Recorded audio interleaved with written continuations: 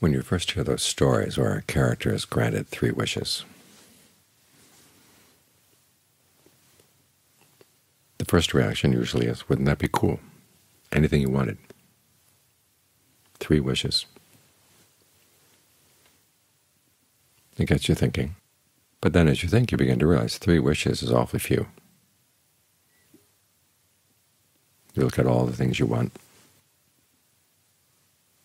and you realize if you were going to take advantage of that opportunity, you'd have to really think through your wishes, which ones are most important.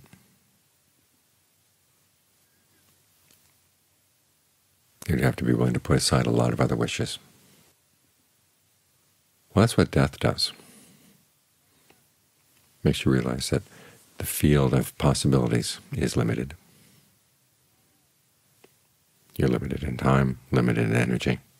And even before death comes, illness can come. Aging comes. And the range of things you can gain out of life, the desires that you have that could be fulfilled, is pretty limited.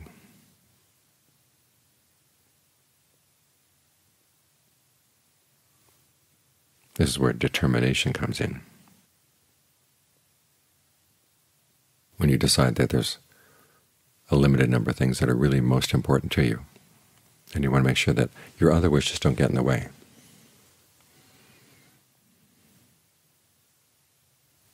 Think about the Buddha, all those things he could have had in life. And he finally realized what he really most wanted was something that wouldn't die.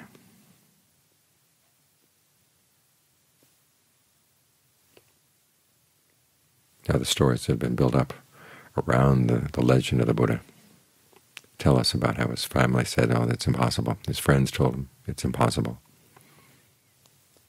Think of all the great people in the past who had to satisfy themselves with sensual pleasures, power, the things of the world. And the and the legends, the Bodhisattva says, well, in that case, they're not admirable people if they're willing to content themselves with that. And there must have been something of that in the young Bodhisattva's quest when he left home, gave up all those things, all the comforts of home, all the possibilities of power and wealth. Decided what he really wanted more than anything else was something that wouldn't die. Then he sought what was skillful, in other words, the way to get there, what would work. So we have to reflect on our own practice in the same way. There are a lot of things we have to give up,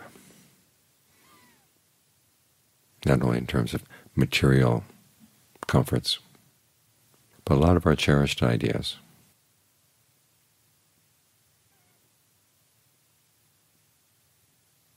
You have to realize that this is one of those paths where you have to take as little luggage as possible. So there'll be a lot of things you have to give up. But fortunately, the path doesn't save all of its rewards for the end.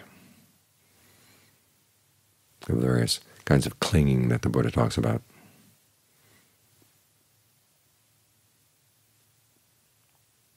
Three of them, he says, you can actually use on the path. Because clinging, of course, means feeding, and you're going to have to feed as you practice. One type of clinging that he says is not to be engaged in that sensuality. remember what sensuality means. It's your fascination with fantasizing about sensual pleasures.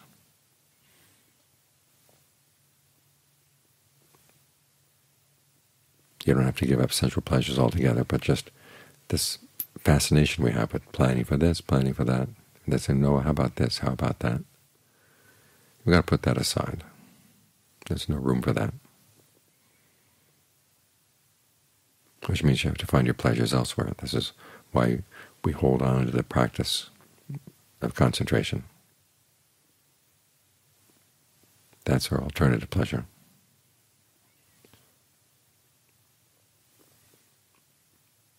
And we adopt views that are helpful in the past. Here again, there are a lot of things we hold dearly. This is our idea of right, and that's our idea of wrong. But if they get in the way, What's their value?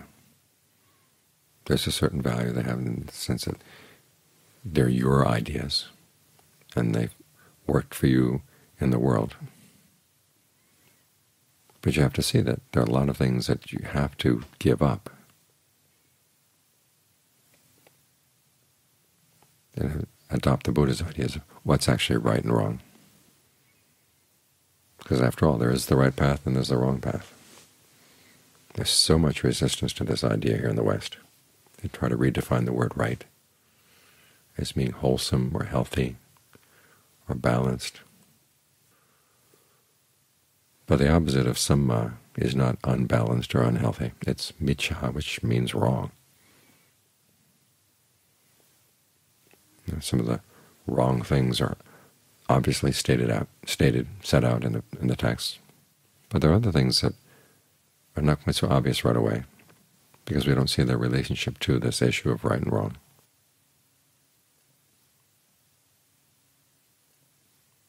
But you have to ask yourself, are you going to hold on to your old rights and wrongs, or give the Buddhists a try? Because he wasn't the sort of person who liked to set up rules just for the fun of setting up rules, or making pronouncements because he liked to make pronouncements. As he said, there's nothing in excess and nothing lacking in the path. So he went to the trouble of saying that something is wrong. Okay, you take that to heart. When he goes to the trouble of saying something is right, you take that to heart. If he says something is irrelevant to the practice, you say, I'm going to just put that aside.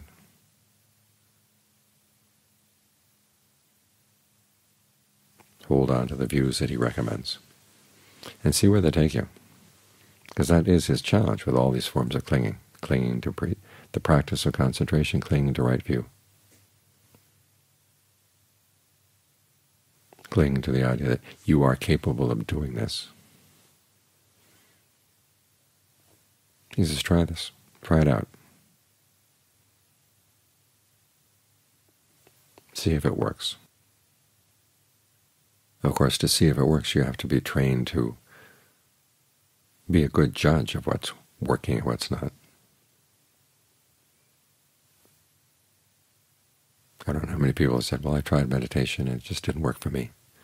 Well, they didn't put in the work.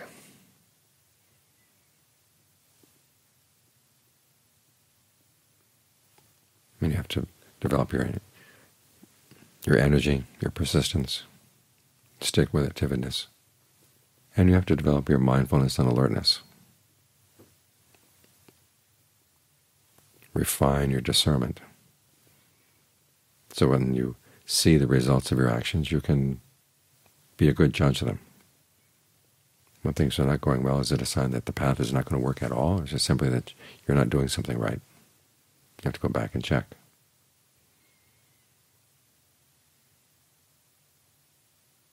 That willingness to go back and check has saved a lot of people. So remember, your practice is a practice that requires you look all around. There's one passage where the Buddha says you need a good eye in order to practice. He compares the practitioner to a, a shopkeeper. One of the attributes of a good shopkeeper is that he has a good eye. He knows what kind of items he can buy, buy cheaply, sell for a profit. The Buddha compares this with someone who's able to see the Four Noble Truths. And even though you may not be seeing things in that framework, or may not, the framework may not be so obvious, but when you see things in terms of what are you doing that's causing suffering, what can you do to stop that, that's when you develop your good eye.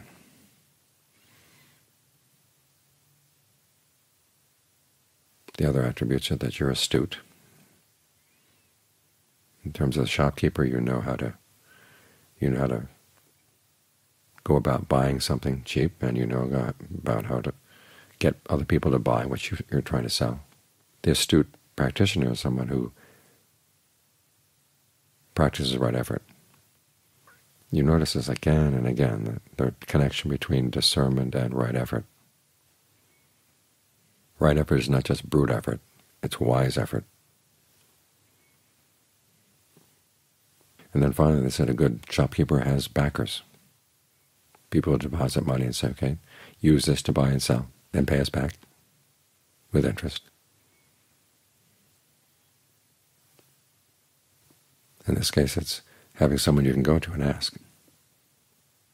When things are not going well in the path, what might be wrong? Or when there's something in the Buddhist teachings you don't understand, how, how do you explain this? Words, you take advantage of the fact that we are a community.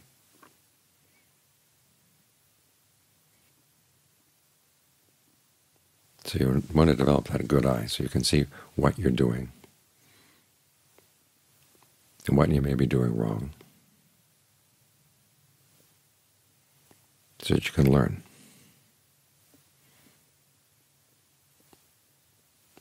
So be open to the possibility that you're doing things wrong. As long as you haven't reached the end of suffering, okay, you're still doing something wrong. And learn to take that fact with, with the right attitude. Not get wiped out by it, not get discouraged. To take it as a challenge, and that you're up for the challenge. Because after all, what would be better than something, a happiness that doesn't die? If you could get just that one wish, as the Buddha said, the other hardships that go into the practice wouldn't mean anything. You wouldn't see them as hardships at all once you'd attained that goal. It's that worthwhile.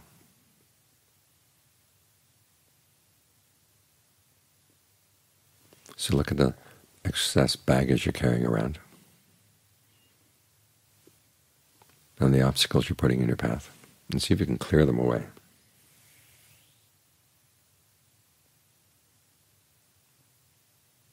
And all your excess desires that head off in different directions. Learn how to tame them. Get them so they point in the right direction and are in line with your determination. Because this desire to find something that's deathless, a deathless happiness, really does ennoble life.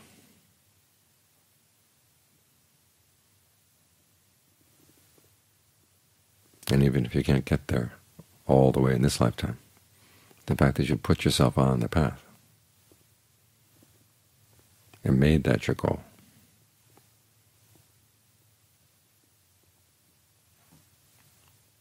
That's what makes your life noble as well.